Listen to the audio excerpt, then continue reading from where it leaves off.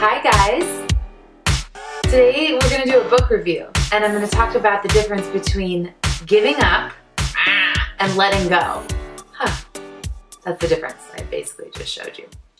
This little book by Marie Kondo, The Life-Changing Magic of Tidying Up, you think it's about cleaning your house. It is so much more than that. It is teaching you a practical spiritual practice around letting go.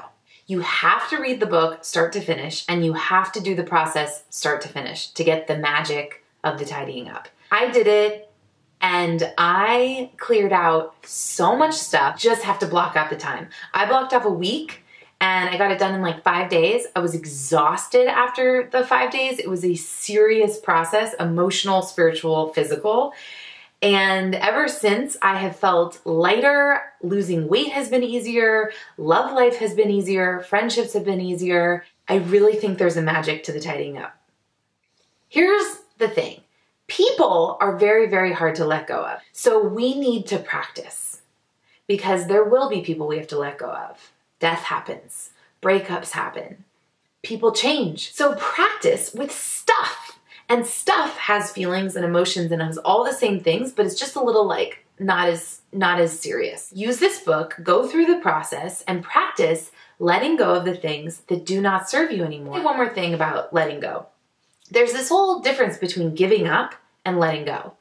Giving up is kind of like feeling defeated. It sounds more like this, like I give up, like I just can't do it. Nothing ever works out. I'm just not going to get what I want, right? We've all been there with dating. Like, I give up on men. Like, I'm done with men. I'm done with dating. Like, you cancel all the apps and you get really like ah, about it. Or with relationships, like in the middle of a fight, you're just like, I give up, and you like throw your hands in the air and you storm out. It's totally fine. It's human. Like I'm, I've given up many, many times. Giving up sometimes is really, really fun, actually. And then what happens is there's still a little work left to do. Like if you leave in the middle of that argument, like you know you're gonna have to come back and do more. An even more powerful stance is letting go. Marie Kondo actually teaches you about this in the book. There is a, a gratitude and an appreciation and, and recognition of the experience and the lessons that were brought to you. And then you release the object or you release the person or you release the fight and you let go. Sometimes it's painful. Sometimes it's like, oh, I wanted that so bad and now I have to let it go.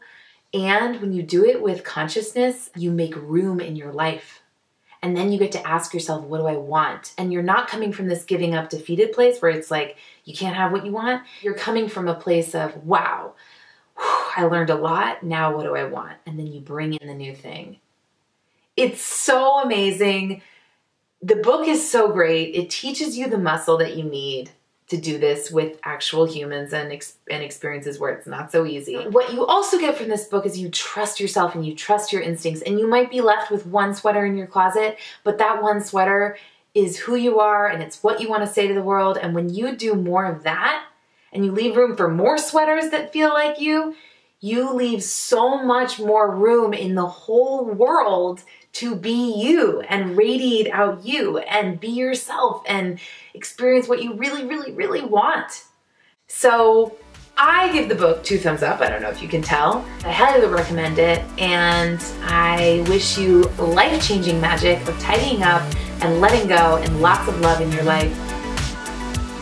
There we go.